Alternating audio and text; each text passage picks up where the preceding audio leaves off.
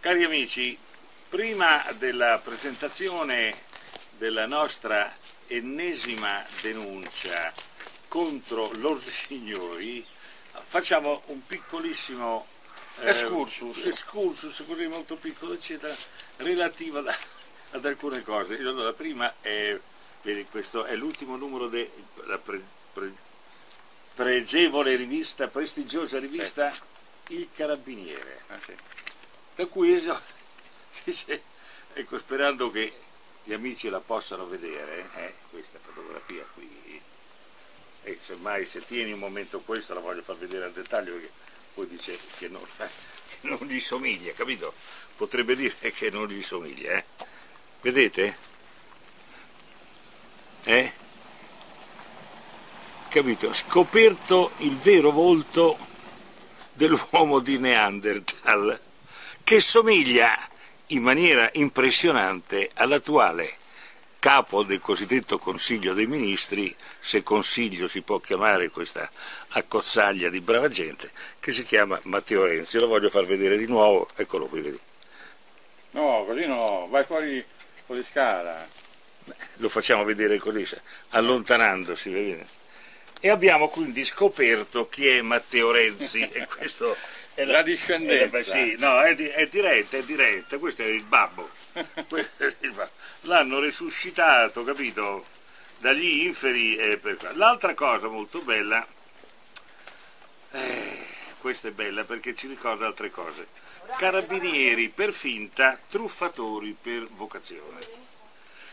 Si sarebbero finti carabinieri dei NAX per paventare ad alcuni anziani allevatori multe salatissime conseguenti a presunte irregolarità nell'esercizio della loro attività. Allora, vedete, voglio far vedere anche qui che è volato un, uh, un foglietto. No.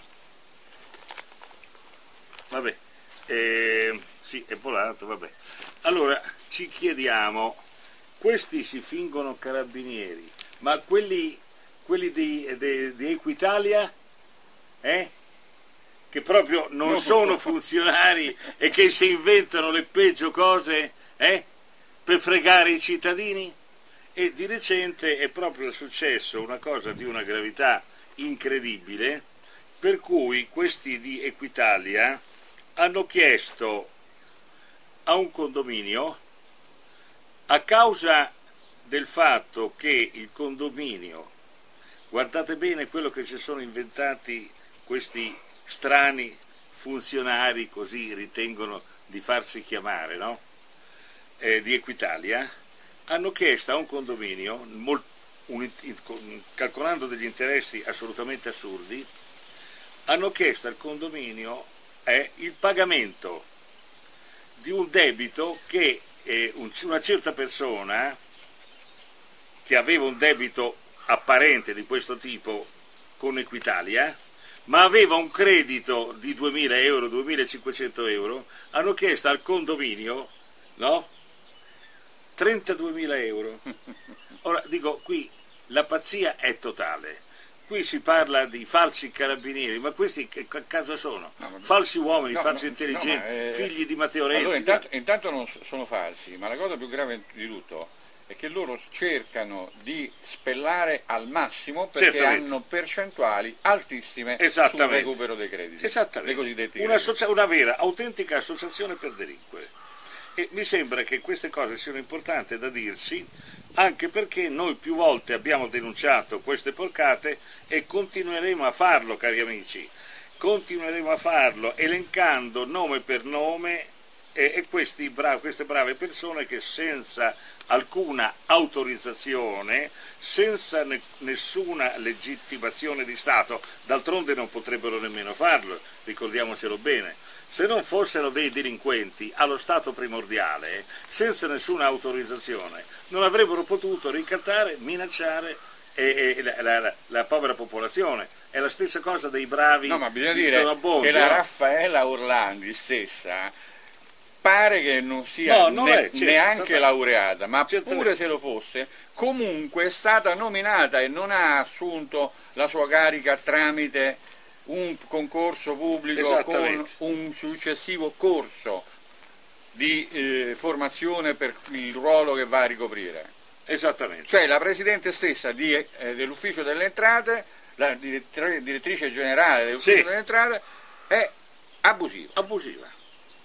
Quindi che vogliamo dire? Basta semplicemente dire no, non ti do una lira, sei abusivo e in tribunale voglio vedere se uno va in, davvero in tribunale eh, apportando anche solo come argomentazione questo punto di vista, eh, penso che sicuramente ha buone chance. Allora, siccome stiamo sempre parlando di questo, abbiamo qui molti dei nostri amici conosceranno il noto eh, giornalista televisivo Gianni Bisiac che aveva per lungo tempo tenuto una trasmissione di carattere storico. Una buona rivista. No, no, trasmissione RAI. Sì, una buona trasmissione. Sì, è una buona trasmissione, ogni tanto c'era qualche strafalcione di quelli colossali, ma lasciamo andare. Allora tu ti chiedi da dove viene questo andazzo, ti risponde Gianni Bisiac, sempre lo stesso numero del carabiniere, dove dice 1946 e l'Italia votò. Allora, cari amici, leggiamo le prime righe. Personalmente io, che avevo appena compiuto 19 anni, vivevo drammaticamente e privatamente un amore non corrisposto con una compagna di liceo a Gorizia, se il nome Bisiac, per eh certo, slavo, slavo, certo. no slavo, goriziano, un italiano. Sì, goriziano ma di, di origine slava comunque. Eh e guardavo distratto alle grandi vicende del mondo. In quel dopoguerra molti altri italiani soffrivano la fame e la miseria, come potei constatare pochi mesi dopo quando andai a Napoli per imbarcarmi per l'Africa. Attraversai tutta l'Italia e vidi le città piene di macerie. Passai il Po su un provvisorio ponte di barche. C'erano dappertutto povertà e squallore. A Napoli gli spazzini non si vedevano da tre anni perché adesso, perché adesso che si vedono ancora gli spazzini a Napoli?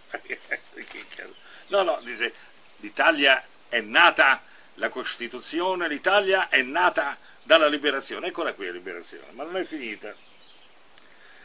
Mancava il lavoro e per le donne l'attività più diffusa, indovina un po', indovina un po', puttana. La puttana, la prostituzione. Per gli uomini il furto, il mercato nero e il contrabbando di sigarette americane. Come si vede nei film Paesà di Roberto Rossellini, ottimo, grande film, tra, tri, triste ma vero, e come si legge nei libri famosi di Curzio Malaparte, La pelle e Caput, di cui consigliamo vivamente la lettura. A Napoli la prima nave con la quale avrei dovuto raggiungere l'Africa venne affondata appena uscita dal porto per incassare l'assicurazione. Mi pare ovvio. È, è, così che si fa anche con la Concordia. È naturale. Io mi salvai scendendo all'ultimo momento. Io non so che i passeggeri della Concordia che fine abbiano fatto, però lui fu avvisato, anche, anche lì, attento, eh. Io mi salvai scendendo all'ultimo momento grazie alla confidenza di un marinaio amico quindi sapevano tutto, quell'operazione. E gli altri chissà che fine hanno fatto. Vabbè. In attesa di imbarcarmi su una seconda nave, il piroscofo Toscana, per mancanza di denaro, affittai un letto in una stanza in cui dovevo dormire in compagnia di cinque sconosciuti. Ora, ragazzi, l'italiano incomincia a vivere così perché i buoni posti letto li danno ai migranti perché sennò come lucrano sui migranti, preti, pretonsoli, frati, monache, eh, assistenti sociali, badesse, eh, eh, cardinali, cardinaloni, cardinalucci, pure, comunisti, pure cattocomunisti. E, eremiti. Eh, sempre, gli eremiti. Soprattutto ah, il famoso romito. i romitori. Sì. Eh il famoso romito di Poggi Bonsi, che non cagava ma sputava stronzi. stronzi. Infatti dicono che Renzi sia stato sputato, vista di quelle parti, dal romito di Poggi Bonsi. La figlia della padrona, indovina che faceva? Eh, che poteva fare? Eh, peripatetica. Eh, la figlia della padrona, dietro una tenda, mentre loro dormivano, esercitava il meretricio, nobile arte, nobilissima arte. Per sopravvivere potevo mangiare ogni giorno solo un chilo di mele marce che costava 10 lire e che gonfiavo nel mio stomaco con l'acqua del rubinetto. Questo è il mio ricordo di quel 1946. Al ritorno dall'Africa, quando il mio amico Massimo Rendina mi fece assumere alla RAI, mi dedicai alle inchieste di storia in televisione. In particolare sul 2 giugno mi aiutarono alcuni protagonisti di alto livello, e cioè lo stesso re Umberto de Savoia, che seguiva dall'estero le mie trasmissioni, il ministro della Real Casa marchese Falcone Lucifero Teo Consiglio, che lo rappresentava in Italia, e l'onorevole Nil De Iotti, che fu presidente della Camera dei Deputati per ben tre legislature. Il fatto che poi Nil De Iotti, che era una belloccia, diventasse, vedi caso, guarda che... Presidente della Camera. Eh, no, il contrario. Marita, am, am, maritata al signor... No, Togliatti. amante del signor Togliatti. Vabbè, alle, alle, vabbè, diciamo compagna, va. Compagna del signor Togliatti è, è, un, è un, fatto completamente marginale, no?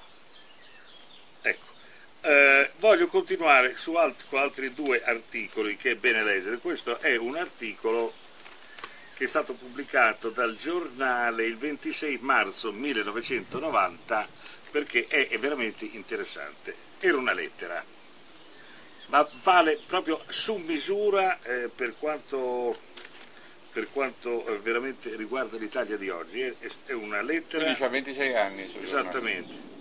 I vecchi esistono con loro carico di problemi quotidiani, guarda, qui c'era un'altra cosa, un'altra lettera.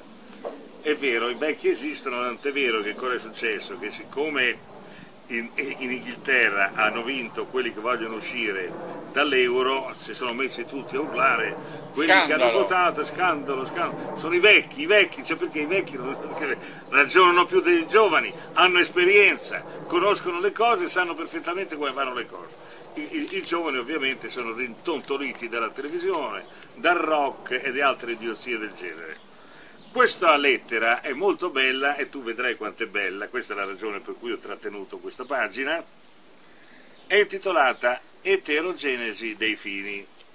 Caro direttore, condivido quanto da lei scritto nel fondo dal titolo Toga Nostra del 17 marzo a proposito del Consiglio Superiore della Magistratura. Buoni.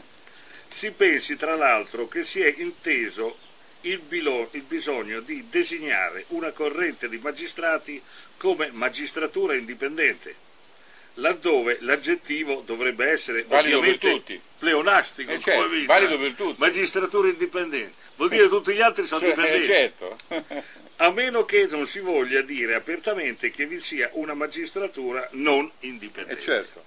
Oh, ma guarda, è scritto nel 90, oggi noi la controfirmiamo quando e quando volete. Al punto in cui siamo giunti può affermarsi che si è verificato quel fenomeno che gli storiografi e i filosofi definiscono eterogenesi dei fini. Ora, questa è una cosa molto importante perché ricordo che io più volte ho parlato della eterogenesi dei fini che è stata sostenuta soprattutto dal grande storico Augusto del Noce. Per esempio, la Gran Bretagna è entrata in guerra per conservare l'impero e proprio a causa della guerra ha perso l'impero. Anche queste, volte, queste cose le abbiamo dette tante volte. Il Consiglio Superiore della Pure avendo vinto la guerra. Tu guarda il paradosso. Glielo, glielo, dicono, glielo dicono, glielo dicono, lo fanno credere. Vabbè, però l'ha vinta, in difetti. No, io dalla parte dei vincitori. Ah, no, certo, però non, non, non hanno vinto Poi l'ha vinta, l'ha vinta, la casta dirigente, l'ha vista l'ammiragliato britannico, il popolo inglese non ha vinto proprio niente. Il Consiglio Superiore della Magistratura, previsto quale garante della indipendenza dell'ordine giudiziario, lo condiziona, limitandone quindi l'indipendenza che avrebbe dovuto garantire.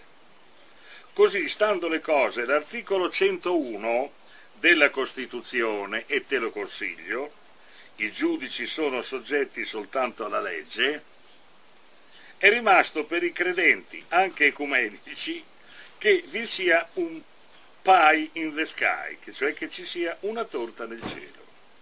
Come dicono gli inglesi, o che esista la befana, per dirla alla ruspante. Avvocato Ugo De Leone.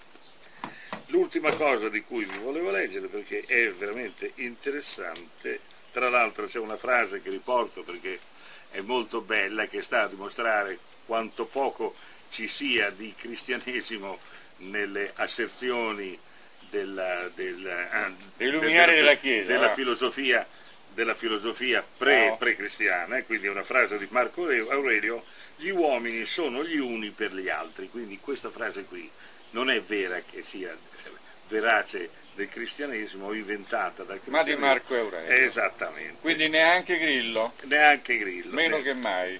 Oh, l'ultima cosa che è molto bella, anche questa la voglio leggere perché fa confermare alcune mie asserzioni. Ascanio Celestini, qui eh, Ascanio Celestini ha fatto una, una non, viene sempre da parlare una sua performance di recente e voglio leggere quello che c'è scritto. Ascanio Celestini porta in scena in maniera ironica e grottesca un Gesù contemporaneo e improbabile che si confronta coi propri dubbi e le proprie paure. Vive chiuso in un appartamento di qualche periferia. Dalla sua finestra si vede il parcheggio di un supermercato e il barbone che di giorno chiede l'elemosina e di notte dorme fra i cartoni. Cristo non si è incarnato per redimere l'umanità, ma solo per osservarla. Accanto a lui l'Apostolo Pietro come sostegno. Questo Cristo contemporaneo è, è interessato a ciò che accade fuori, soprattutto vuole sapere del barbone non per salvarlo dalla sua povertà, ma per fargliela vivere allegramente. Mi pare giusto. È la filosofia dei catto comunisti, no? Assolutamente. E di, e dei giullari. Cioè, beh, benissimo. Tipo tu, Grillo. Va tutto bene, no? Grillo. Sì, Grillo, ma soprattutto Grillo almeno nella Benigni. parte in, iniziale sì, della sua attività di attore almeno denunciava questa situazione. Adesso non la denuncia più. Benigni. Benigni. Eh, massimo profeta proprio. Esattamente. Del piddino sì, corretto. Sì. Quando sbaglia mi dice mi sono sbagliato, ho cambiato idea. Esattamente. Non dico Renzi, no? che compare sempre per dire che tutto va bene, malgra- mal- Madama la Marchesa. Finisco la lettura perché come se il mondo fosse il parcheggio davanti alla sua finestra. Questa è l'interpretazione del cristianesimo, della, dell'attuale cristianità, soprattutto quella cattolica. Accompagnato dalla fisarmonica di Gianluca Casadei, Celestini narra con la sua carica di energia scenica come il crollo delle ideologie, guarda bene che è quello che io ho sempre sostenuto, stia erodendo anche le religioni attraverso gli occhi senza visto di un povero Cristo che può agire nel mondo solo come essere umano fra gli esseri umani. Io l'ho sempre detto, il crollo delle ideologie, la fine delle menzogne, che grazie sia pure parzialmente, perché la buona parte dell'umanità vuole essere presa per il culo. Vuole vivere in un sogno. Vive un sogno e la prendono per il culo, e, e anche perché ti ho citato prima il caso di quel condominio e in quel condominio pare che vogliano pagare questi 32 o 38 mila Ma quando euro. noi ieri eravamo... Per conto di un altro che aveva un debito di 2 mila euro. Quando noi eravamo in quella sì, manifestazione ieri pomeriggio... Sì ma non dicevamo le stesse cose che quella gente lì non capiva e ci domandava sì. perché, chi c'è dietro di voi, perché lo fate? Eh, no? Sapete quanto rischiate? Certo. Questo la dice lunga sulla mentalità anche di quelli che avrebbero la lucidità mentale per poter fare 2 più 2 per certo. poter fare un'analisi semplicissima certo. che eh, loro abituati a fare analisi di ben altro, di calibro. Ben altro calibro e nonostante questo loro il loro condizionamento mentale è talmente forte che eh, è pregnante che oramai non riescono più a identificare l'elemento eh, su cui indagare, l'elemento su cui prendere delle decisioni, l'elemento su cui andare a, a mettersi in posizione di eh, eh, antagonismo, eh, di opposizione netta. Ecco, tutte queste cose qui sono oramai passate eh, nel, nell'oblio, nella, nella, dimenticanza più, eh, più eh, soporosa, più, certo. più ehm, dice, ipnotica, ecco. certo. una forma di ipnosi assolutamente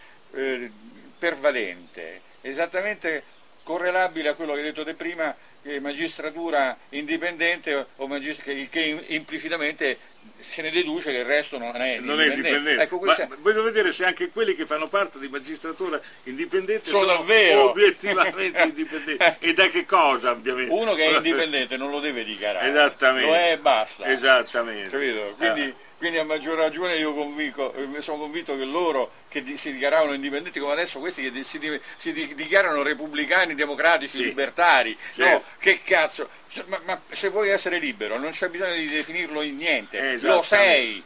Non c'è bisogno di avere, ieri ci hanno dato l'attestato, se io sono un genio non c'ho bisogno di nessun attestato. Esattamente, tanto è vero che gli altri cercano gli attestati. Certo, infatti noi abbiamo detto vabbè che no, cazzo, daccelo pure se vuoi. O in via se del tutto transitoria le testate. Sì, se, se, ti fa piacere io ho detto concedimelo pure, sì, pure, ma, pure. Ma, ma, a me non me ne frega assolutamente eh, niente, questo oh, per dire. Eh, voglio sempre agganciarmi, poi mi ero dimenticato di dirlo prima, allora va in giro su internet e presumibilmente anche in alcune televisioni e alcune dichiarazioni di un, uh, un prete, un telepredicatore, il quale ovviamente da buon cristiano, anche se non cristiano cattolico, sono tutti uguali, ha dichiarato in maniera perentoria eh, che, che Putin è Gog e Magog perché l'ha detto Ezechiele, nel eh, Ezechiele, 38. Ho riscontrato nel comportamento di Putin quello che aveva previsto Ezechiele 38. Eh? Allora, vi ricordano quelle profezie, no? Eh, quelle, quelle profezie. Malachia, sì. Malachia è il migliore. Malachia.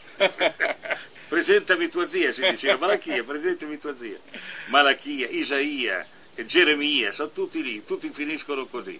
Allora è bello. No, ma che... è il meglio perché dice una marea di cazzate è assolutamente imbattibile. Eh, allora, no, eh, quello che voglio aggiungere è questo. Allora, queste profezie, eh, ti immagini, la profezia di Isaia, nel quale è scritto eh, contarono le mie ossa, eh, torturarono le mie mani e i miei piedi. Dice profezia di Gesù, profezia di Gesù.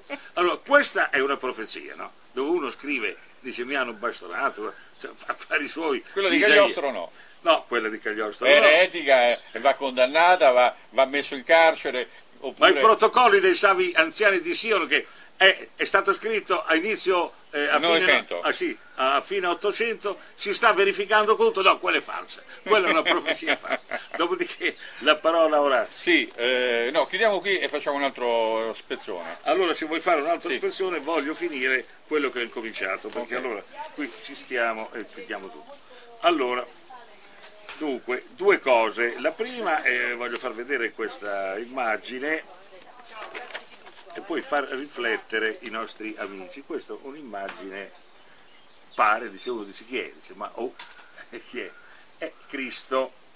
Allora, secondo loro, questo, questi qui dice, è Cristo. No, ma aspetta, fino, fino al 1300 Cristo era rappresentato in tutte le icone, o icone come lo chiamano, sì. eh, con i capelli neri con i pelli scuri e, e il colorito arabo, ara, e se, e senza, arabeggiante. E senza barba, e senza eccolo bar- qui.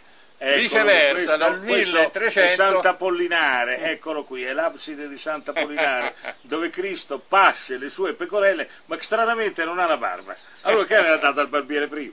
Cioè, no, dopo, dopo c'ha la barba ed è biondo, con i capelli lunghi biondi biondo era e bello e di gentile aspetto. Aspetta, dopo 1300 anni oh, cambia, cambia, moda e è, è dura. Ma eh. devi attenere eh, quando eh, cambia ha, moda. Ha dovuto, ha dovuto, fare i suoi bei sacrifici. Eh. Eh, Madonna. Eh. Tanto è vero che noi dicevamo qui, vedi, dice se aveva fatto la prova costume. No, ma aspetta, no, aspetta ero dimenticato, ero dimenticato gli occhi azzurri per la miseria. Gli occhi azzurri. Oh.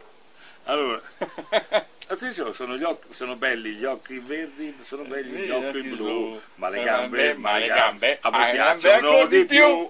Allora, ripetiamo, questa bellezza risponde ai canoni platonici, perché il canone platonico è molto semplice, la bontà eh, equivale a belle, il buono è sempre bello. È anche bello. Ma io voglio leggere un'altra frase, capito?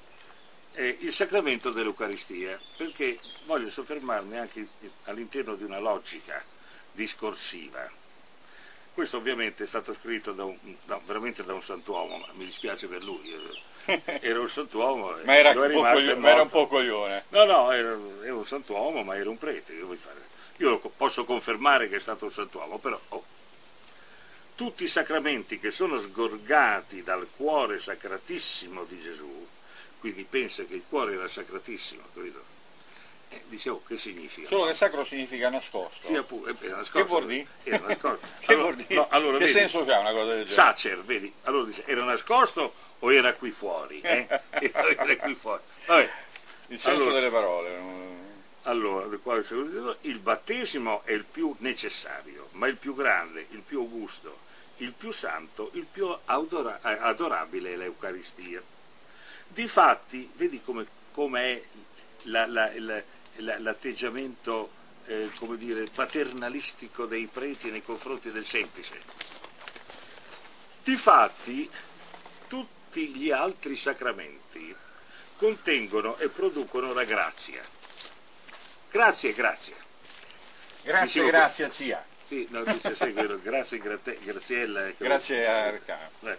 Ma l'Eucarestia contiene e ci dà l'autore stesso della grazia è il principio di ogni santità. Gesù Cristo stesso, il termine Eucaristia viene dal greco e vuol dire rendimento di grazie. Allora chi è che rende grazie? No. Grazie, Graziani. Io... Se siamo in, intrecciati con le parole. È una cosa che... Rendimento di grazie. Si chiama così perché Gesù Cristo, prima di istituirla, rese grazie. Allora eh, siamo noi che dobbiamo rendere grazie a Gesù Cristo o lui Cristo a noi che a noi e al Padre no? quello, quello che si diceva anche ieri no? dice dove, dove, siede Gesù Cristo alla destra del Padre e il Padre dove alla siede sinistra. alla sinistra di Gesù Cristo Beh, guarda che sì. è così eh, ragazzi ricordiamoci bene eh, perché è il principale mezzo con cui i cristiani rendono grazie a Dio per Gesù Cristo del beneficio della redenzione e qui viene il bello perché qui dobbiamo chiarire bene per quale ragione una certa persona si senta obbligato a, a scrivere questa frase.